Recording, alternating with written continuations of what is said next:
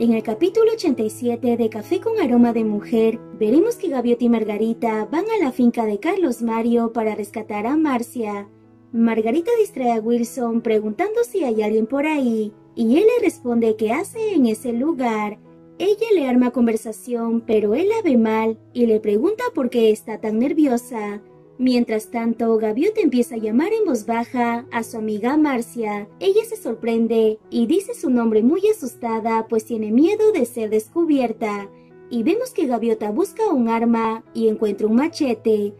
Ella se lo enseña a Marcia y está dispuesta a ayudarla a salir de ese lugar.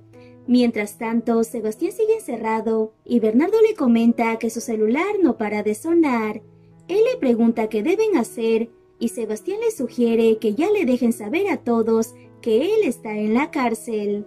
Iván se dispone a ir a la hacienda, pero Lucía le amenaza diciendo que si no vuelve con su plata, le jura que le caerá con Sofía. Cuando llega a la finca, le pide a su madre que le dé el 25% de la herencia que dejó su papá.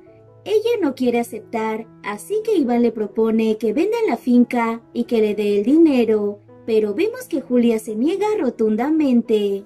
Mientras tanto, Lucrecia le dice a Lucía que Iván de esa no se va a recuperar, dejándola muy preocupada. Y tú dinos, ¿Gaviota salvará la vida de su amiga Marcia? ¿Qué pasará cuando Julia y Gaviota se enteren que Sebastián está en la cárcel?